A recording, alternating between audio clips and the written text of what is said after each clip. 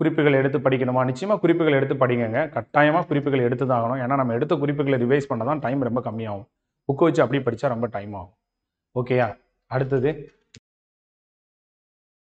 கவனம் சிதறாமல் இருக்கிறதுக்கு நம்ம அதாவது பசின்னு சொல்லுவாங்க பார்த்தீங்களா ஒரு காரியம் நமக்கு வேணும் அப்படிங்கிறதுல நம்ம தீவிரமாக இருந்தால் மட்டும்தான் நம்ம கவனத்தை அந்த நேரத்தில் கொண்டு வருவோம். இல்லையா? ஸோ அப்போ ஒன்று நமக்கு அந்த காரியத்தில் ஜெயிக்கணும் அப்படிங்கிற ஒரு ஆசையோ தீர தேவையோ விருப்பமோ பயமோ இருந்தால் தான் சக் நம்ம கவனம் சிதறாமல் இருக்கும். இப்போ உதாரணத்துக்கு மேக்ஸ் கிளாஸ் வாத்தியார் நடத்துறாரு. நீ வந்து மேக்ஸ் கிளாஸில் உட்காந்துருக்க இப்போ வந்து அந்த மேக்ஸ் சார் சொல்கிறாரு இந்த சம்ம நீ போர்டில் வந்து செய்யணும்னு இப்போ உன் கவனம் சிதறலை. ஏன்னா அவர் உன்னைய கூப்பிட்டு அசிங்கப்படுத்திடுவாரோ போர்டில் அப்படின்னு உடனே. ஸோ அந்த பயம் உன்னைய கவனம் சிதற விடாமல் பார்த்துக்குது சரி நான் இப்போ இன்ட்ரெஸ்டாக நடத்துகிறேன் ஏனே உனக்கு பிடிச்சிருக்கு. அதனால நீ ஆர்வமாக கவனிக்கிற. இந்த விருப்பம் உன்னைய கவனம் செதறாம பார்த்துக்குது. ஓகேயா இப்போ நாளைக்கு வந்து பரீட்சை. இன்னைக்கு நைட்டு நீ உட்காந்து தூக்கம் வந்தாலும் மணிக்கணக்காக படிக்கிற. இந்த தேவை உன்னைய கவனம் சிதறாமல் பார்த்துக்கிறது. அப்போ தேவை விருப்பம் பயம்.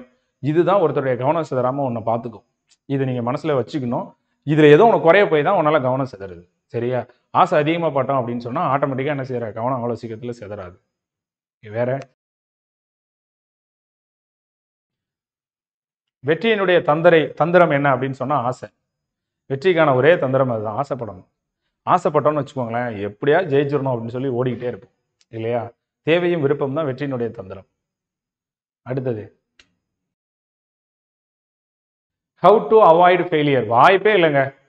ஃபெயிலியரை அவாய்ட் பண்ண வாய்ப்பே கிடையாது. தோல்வி அப்படிங்கிற அந்த படிகளால் அமைஞ்ச அந்த மலை முகடு தான் வெற்றி. அதை நல்லா புரிஞ்சுக்கோங்க. சரியா? இதில் இதெல்லாம் ஒரு அனுபவம். நீங்கள் இது வந்து இது இது ஒரு ஜேர்னி நம்ம அங்கே போகிற வழிக்கான பாதை அப்படின்னு நீங்கள் புரிஞ்சுக்கிட்டீங்கன்னா அதை நீங்கள் ஃபெயிலியர்னு நினைக்க மாட்டீங்க. புரியுதா உங்களுக்கு? ஒரு போர்ஷனை ஒரு மூணு தடவை பரீட்சை எழுதி ஒவ்வொரு பரீட்சையிலும் இருபத்தஞ்சு இருபத்தஞ்சு பர்சன்டேஜ் படிக்கிறாங்க. நாலாவது பரீட்சையில் நூறு சதவீதம் பாஸ் பண்ணுறாங்க இப்போ மூணு தடவை அவங்க ஃபெயிலும் ஆகலை. ஒரு தடவை டுவெண்ட்டி ஃபைவ் பர்சன்டேஜ் ஜானியை கம்ப்ளீட் பண்ணியிருக்காங்க. அடுத்த தடவை டுவெண்ட்டி ஃபைவ் பர்சன்டேஜ் ஜானி அடுத்த டுவெண்ட்டி ஃபைவ் பர்சன்டேஜ் அடுத்து அவங்க ஹண்ட்ரட் பர்சன்ட் அடைஞ்சிருக்காங்க. அப்படி தான் நம்ம எடுத்துக்க முடியும்.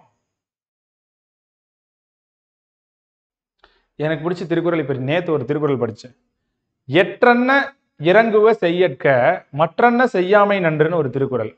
அதாவது நாளைக்கு ஒரு காரியத்தை செஞ்சுட்டோமேன்னு வருந்தக்கூடிய ஒரு செயலை இன்னைக்கு தயவு செஞ்சு செய்யாத. ஒவ்வொரு தடையும் நினச்சி நினைச்சு ச்சே இப்படி பண்ணிட்டேனே. சே அப்ளை பண்ணாமல் விட்டேனே சே படிக்காமல் விட்டுட்டேனே. அப்படின்னு வருந்தக்கூடிய ஒரு செயல் இருந்துச்சுன்னா அதை தயவு செஞ்சு இப்போ செய்யாத.